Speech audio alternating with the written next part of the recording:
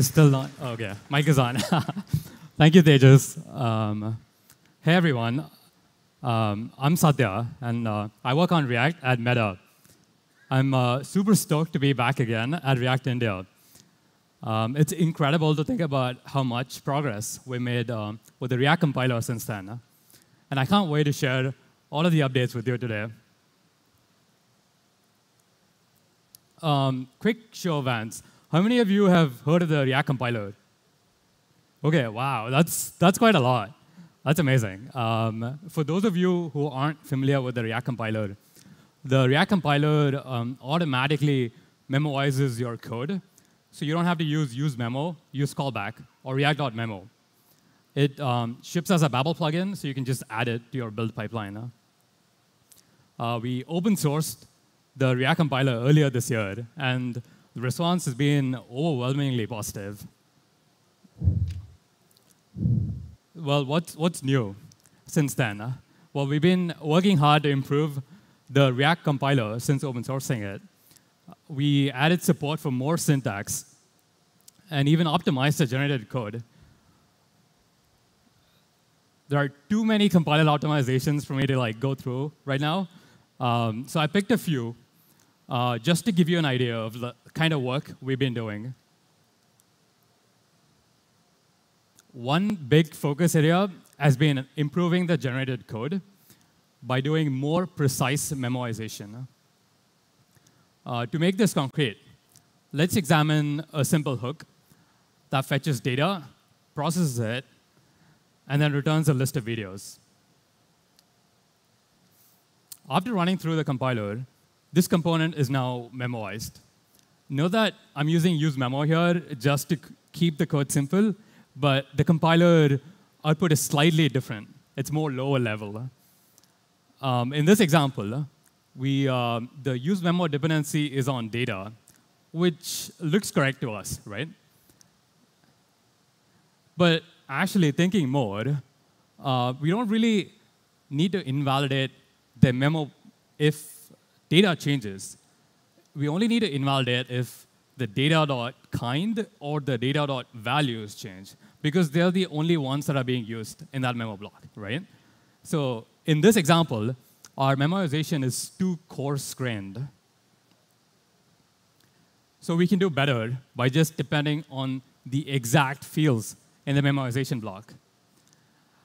This might look pretty simple and straightforward for us, but this is really challenging due to the complexities of the JavaScript semantics.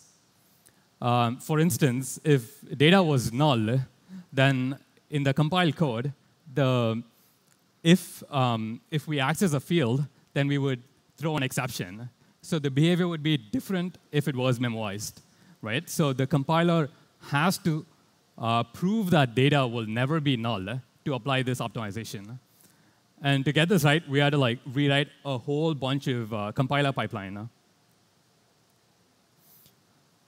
Okay, moving on. The compiler has a built-in type inference as well. Uh, the type inference helps us to improve memoization. This is different from uh, TypeScript types. So we don't actually use TypeScript types. Uh, we want to support everyone. Uh, so we also want to support people who don't use TypeScript. Uh, so we want the compiler to work with vanilla JavaScript as well. So let's, let's consider this simple hook. Like the previous example, it fetches some data does some processing, and then returns the value. Pretty straightforward. Now, one way to memoize this would be like this, where we combine the statements together, um, and the memoization block depends on data.edges. But as you can see, we can do better if we split the memo and memoize each statement separately, right? So this is because now if um, only edges changes, then only then we need to rerun the filter. Uh, this is fine-grained memoization. So it's probably obvious to us what's going on in the filter function. But think about it from the compiler point of view. For all it knows at first glance, filter could be doing all kinds of crazy things because it's JavaScript, right? We had to teach it to recognize that this is an array, and this filter function is a built-in array filter method. Now, looking at this statement in isolation, it's clear that the type of the empty array is array. But the compiler doesn't know what the type of data.edges is. So to teach the compiler about data.edges, we added the ability to add these type information to the compiler config. So you can add common um, functions and utilities to the config, and the compiler will learn from that. So once we add the type definitions, the compiler is now able to infer that this is an array. So now we know that edges must be of type array, since, well, either values that are assigned to it or arrays. Um, that we're still figuring out how to ship this uh, configuration in open source. Uh, keep an eye out on the working group for, to follow along the discussion on that. Cool, so that, that was a sneak peek on like some of the optimizations we've been working on. Uh, apart from the compiler, we also open sourced a new ESLint plugin, um, which is powered by the React compiler. So this is more powerful than the previous ESLint plugin that we had.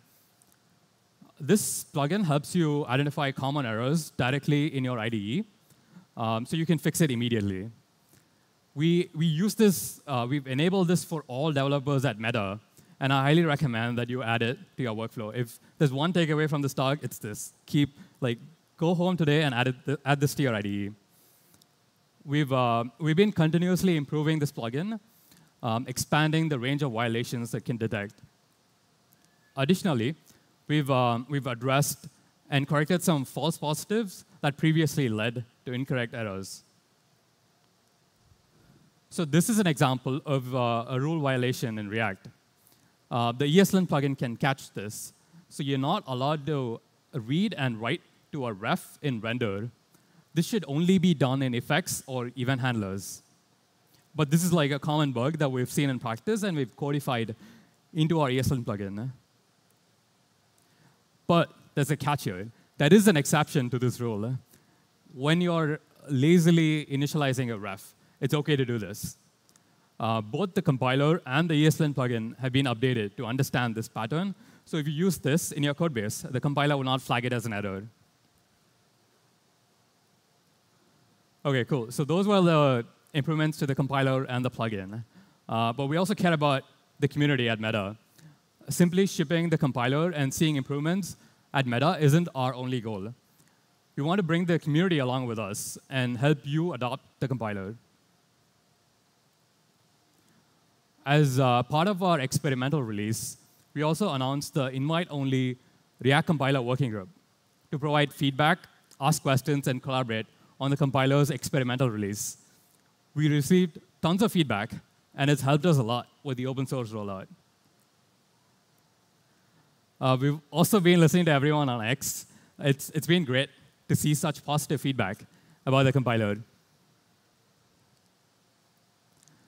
We've um, also been listening to constructive feedback on the compiler, and we've been working on addressing it po whenever possible. I want to give a special shout out to Nadia for writing this blog post. Um, if you all haven't read it, I recommend you read it. It's, it's a great blog post.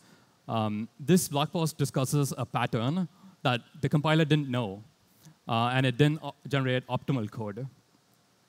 So I'll walk you through an example similar to the one in the blog, and we'll uh, walk through how to fix that issue.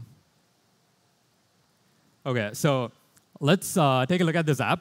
It's, it's a pretty simple app. We've got some state um, to store the list of people. We've got a form component um, for adding new people, and a list component to display the array of people. And here's the list component. In, in this component, we map over the list of people to generate the JSX and then render it. It's pretty straightforward. We've all written code like this. And um, now let's try to memorize this component.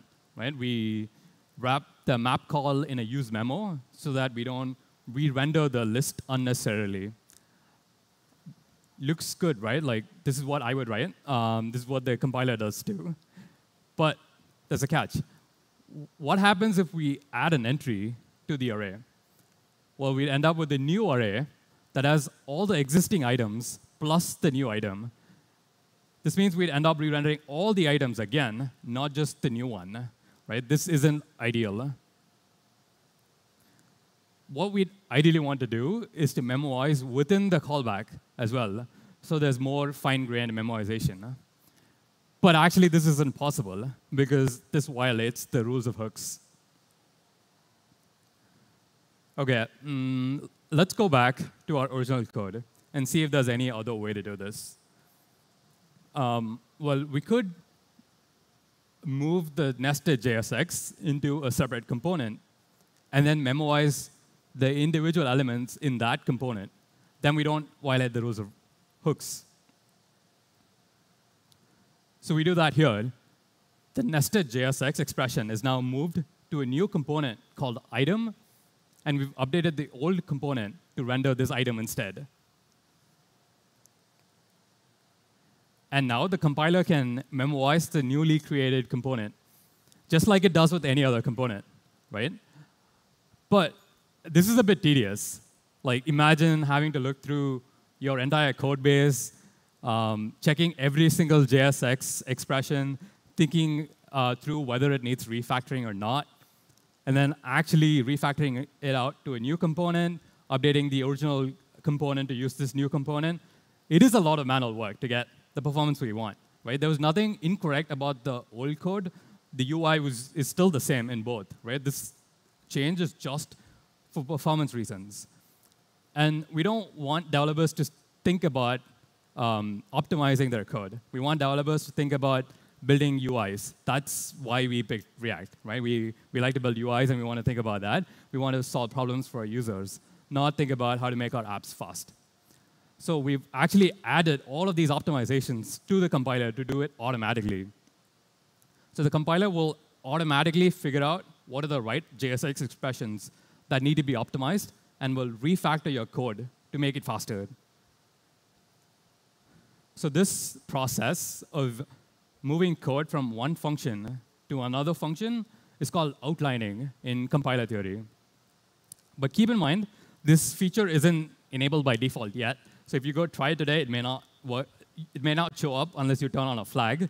It's behind a flag right now, and we want to run an experiment to see what the performance impact of this change is first. So you can, uh, in essence, you can continue to write and structure the code as it makes sense for you and for your app. The compiler will take advantage of the guarantees provided by the React programming model and optimize the code automatically. To me, this is the power of the programming model of React, and we deeply believe in this.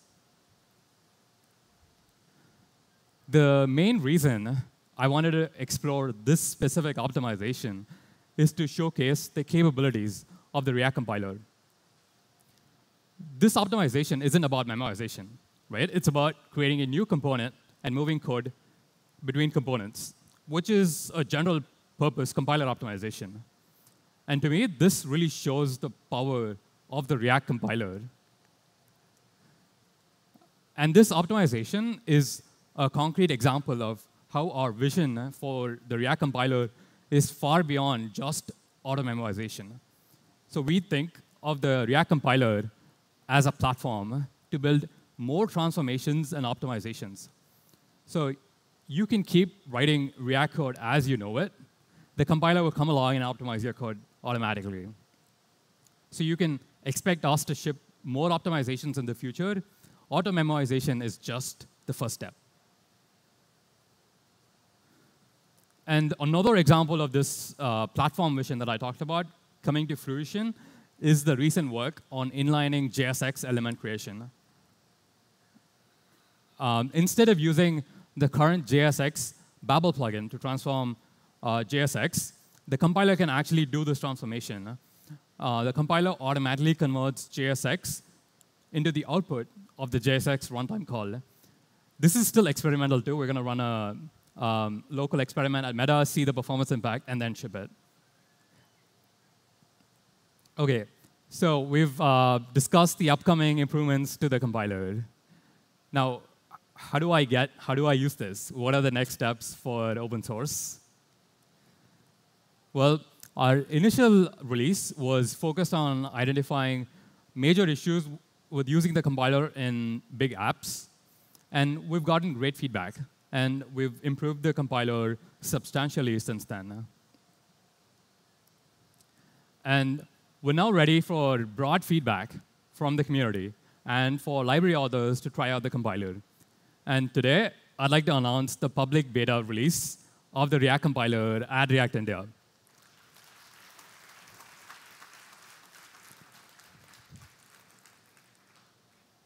There's a new beta release on NPM that you can install right now.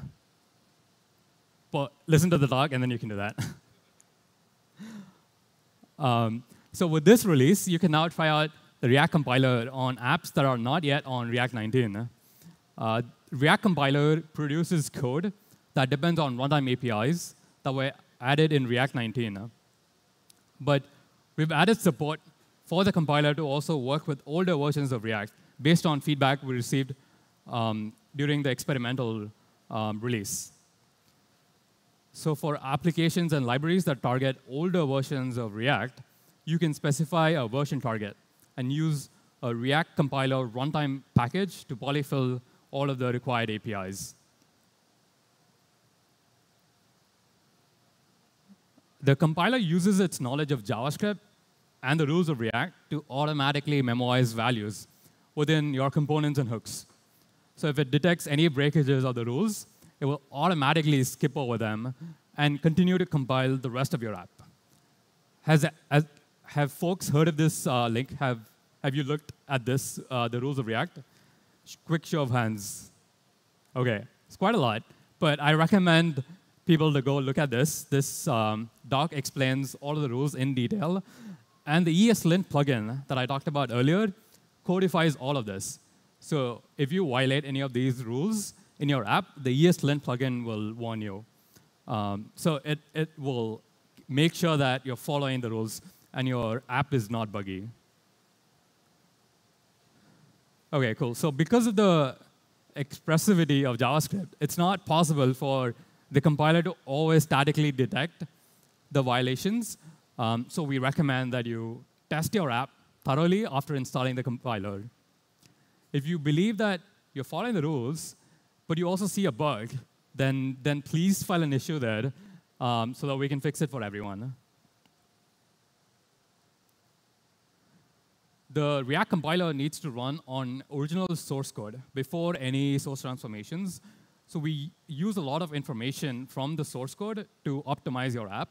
So if there are transformations that happen and we lose that information, then the memoization wouldn't be optimal. So we recommend, um, our recommendation is for library authors to independently compile and test their libraries and then ship the compiled code to NPM so that applications can just start using the compiled code. And we've published updated docs on the website for more information on how to use the new beta. And we've also added polyfills, uh, uh, information on how to use the polyfills for the older versions of React. OK, so that's the beta. And um, after addressing any issues that might arise from the beta release, we intend to ship a new uh, release candidate when the majority of the apps and libraries that follow the rules have been proven to work well with the compiler. And then after a period of final feedback from the community, we will release a stable release of the compiler. We, we hope you try the beta release of the compiler and give us feedback. Thank you.